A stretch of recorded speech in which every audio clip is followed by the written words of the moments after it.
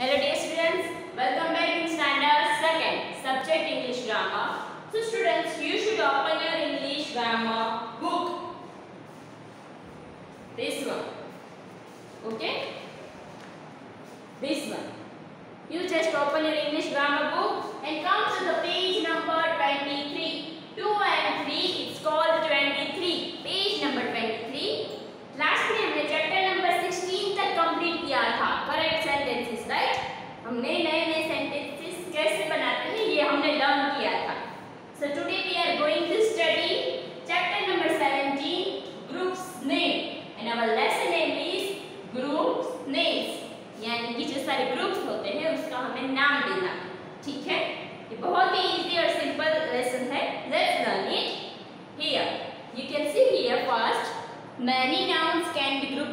together and common group names can be given to them. कई सारे nouns होते हैं same group में available होते हैं ठीक है Many nouns can be grouped together यानी कि कई सारे noun होते हैं noun यानी कि नाम जैसे कि मैंने आपको बताया था किसी का नाम हो boy हो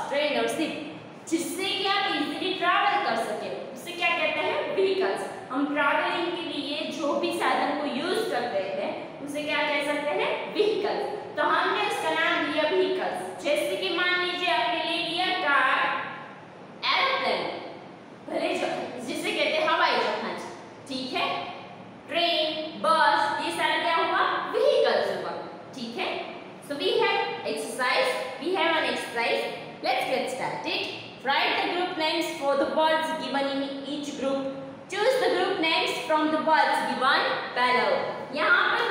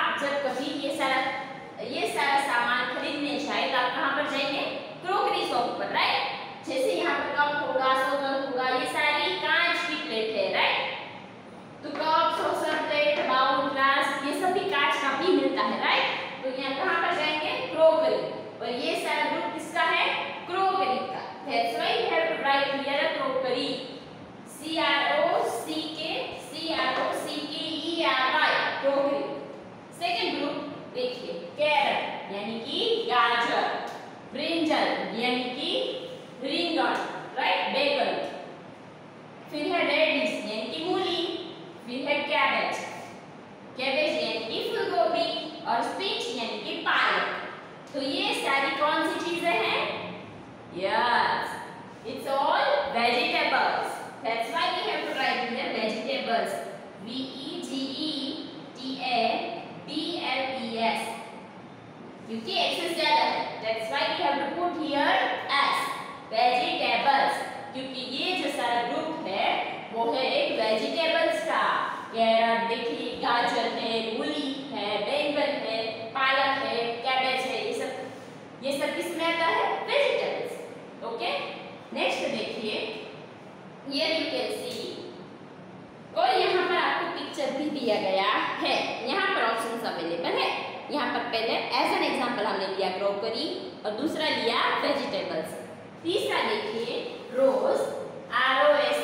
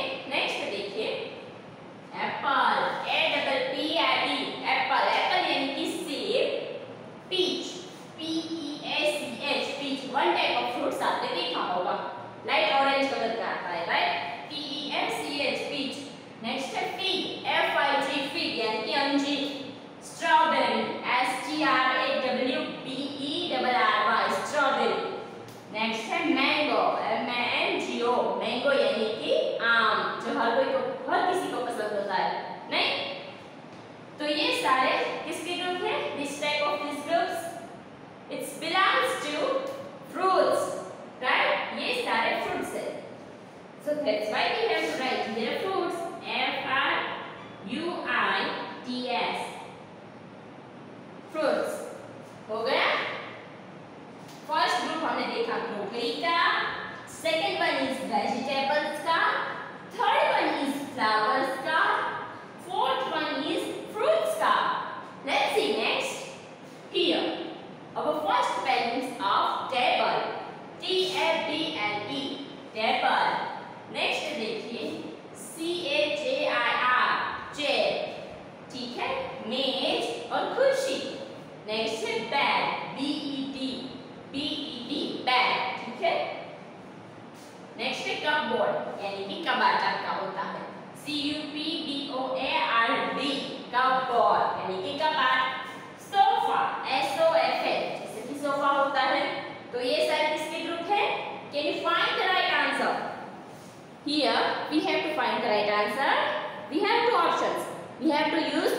options. And it's here, furniture. It's all about item of furniture. That's why we have to write here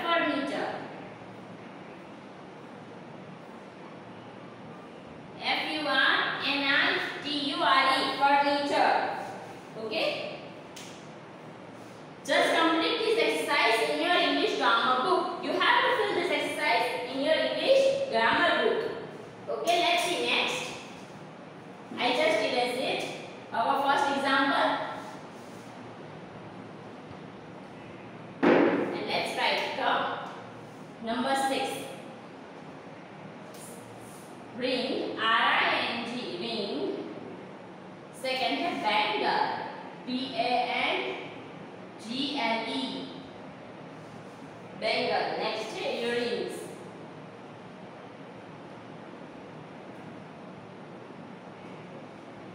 Next, bracelet.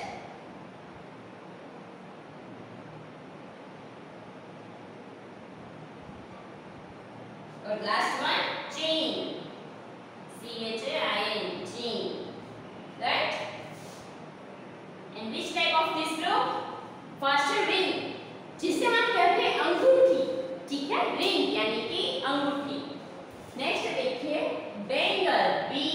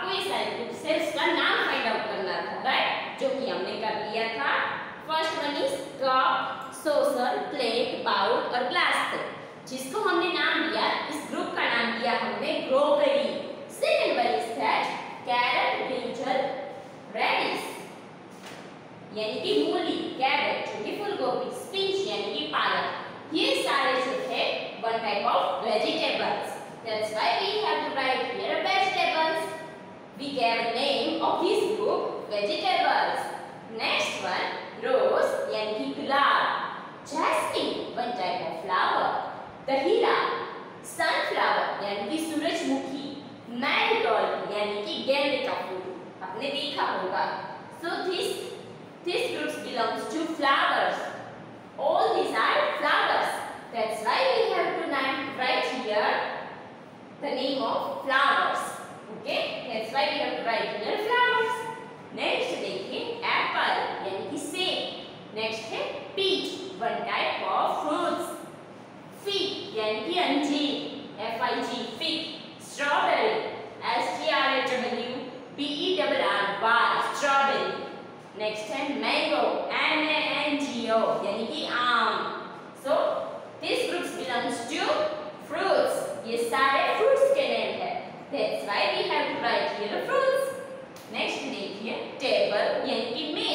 जो आपके पास टेबल अवेलेबल होता है, वो टेबल नेक्स्ट है chair C A J I R chair यानी कि कुर्सी.